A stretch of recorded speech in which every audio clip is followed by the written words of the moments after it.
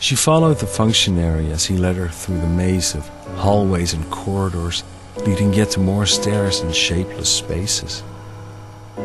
She could sense her countrymen in the shadows around her, but could not see them.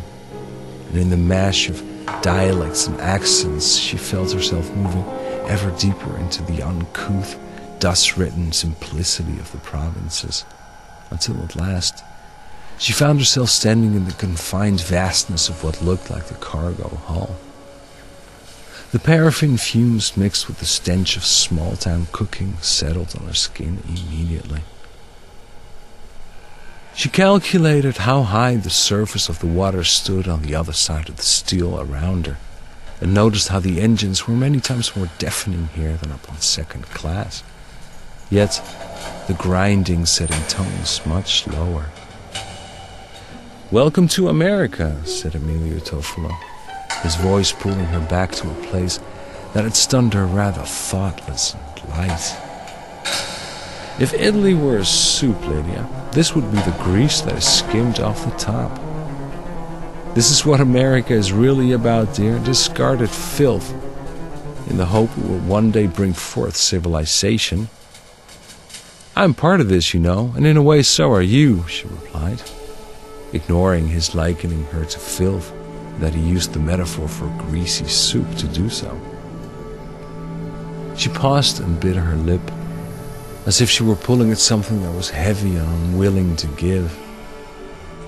All I know is that you're no better, Signora. Oh, but I never said I was, Lydia. Out at sea, my money means nothing. I just commented on what I believe we're all a part of, including myself by all means. She looked around her. The Napolitans seemed to have populated one side of the hall.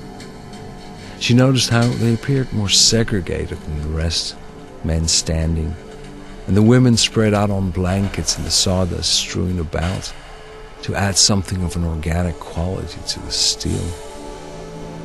Their conversations were more animated than those she had been used to hearing around her hometown. At the same time, again, they seem to have put something of a wall up around themselves that not only felt exclusive but uninviting.